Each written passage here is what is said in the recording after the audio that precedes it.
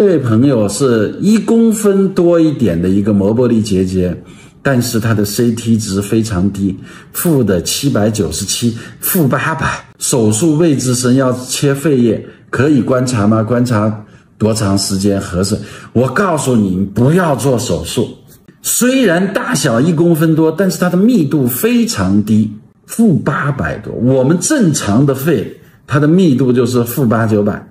位置又要深，又要切你的肺叶，那根本就是弊大于利，损伤大过你的获益，不需要做手术啊，坚决不要做，你就定期复查，半年查一次，超过两年了，每年查一次，不要急急忙忙去去做手术啊，千万千万手下留情，这么密度低的结节，密度越低。